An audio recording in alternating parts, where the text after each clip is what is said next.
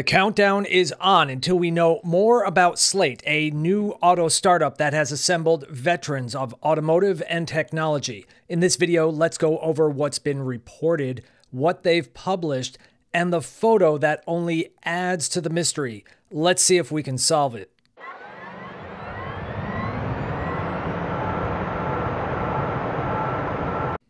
First off, let's congratulate the PR team at Slate Auto for making this reveal a little bit fun. After some clicks, you come to their FAQs, which are completely unsatisfying, and they know it. It's funny, snarky, very well done. Slate is an auto company. According to the LinkedIn, they have assembled over 300 employees with strong automotive experience. Most are in Metro Detroit, with others in California. Slate is a startup initially funded by Jeff Bezos. He is not running the auto company. It's not clear how much time he spends thinking about Slate Auto versus sailing on his mega yacht. According to reports, it spun out of another Bezos venture called Rebuild Manufacturing, whose mission is to reimagine manufacturing in America using their brain to box process. My take on that it seems like they are doing for physical product development what Agile has done for software development, but that's just my spin on it. Slate started to assemble their veteran team in 2022. In 23, they went through their first Series A funding round, collecting $111 million under the name ReCar. They had a small office in Michigan that now appears to be abandoned, having moved to a larger, unmarked building just a few blocks away. I know this was only two years ago, but keep in mind that 2021 to 23 was peak EV bubble. It was full speed ahead as seemingly nothing could go wrong. Looking back, maybe we're a bit too optimistic about the pace of adoption of EVs, but that's how tech bubbles behave. Roller coaster rides are normal. According to TechCrunch, their next Series B funding went through late last year, but is yet to be filed by the SEC. A mysterious pickup was spotted in California that someone posted to Reddit asking, Hey, what is this car? By the way, Reddit attracts some really smart users. No wonder AI companies want to train their systems on their user comments. When someone posted this picture, they were stymied, leading many to believe that this must be the Slate vehicle. According to reports, this is the vehicle leaving their LA design center.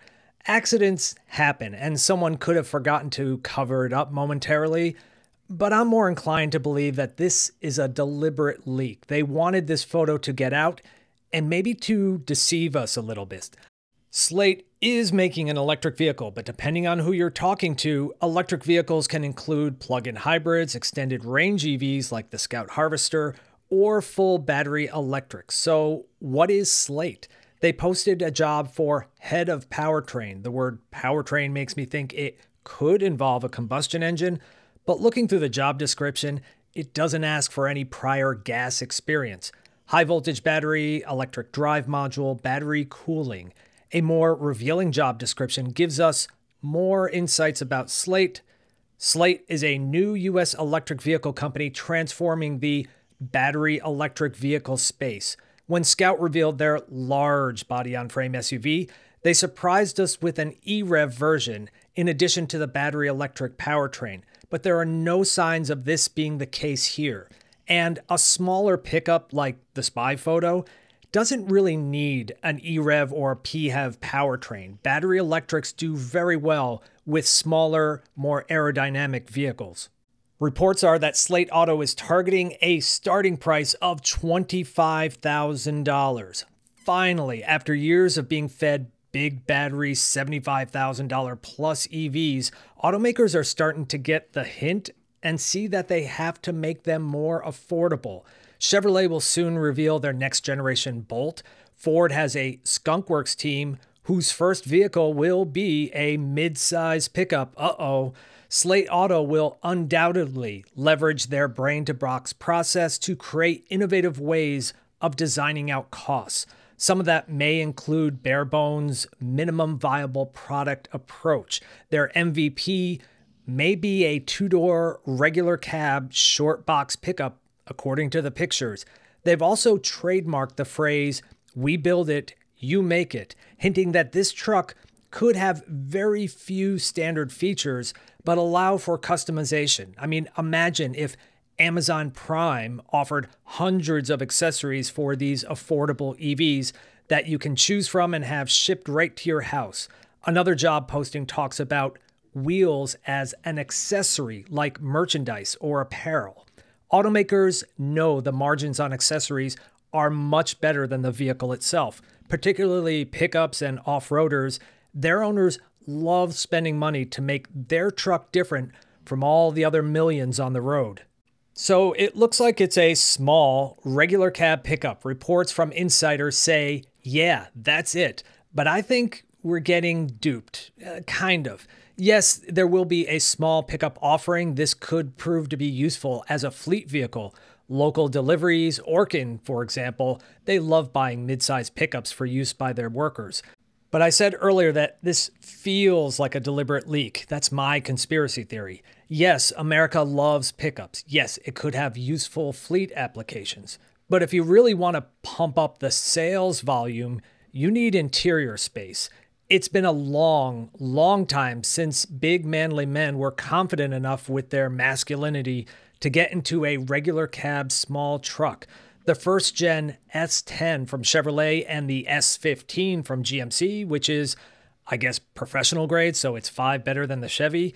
They offered a boxy, regular cab, short box truck standard, then a long bed or an extended cab option. Creating extra build combinations adds manufacturing costs, which is not what you want to do to hit your $25,000 target. You can save some money, for example, by keeping the front doors common between all the variants, not making them bigger for the extended cab.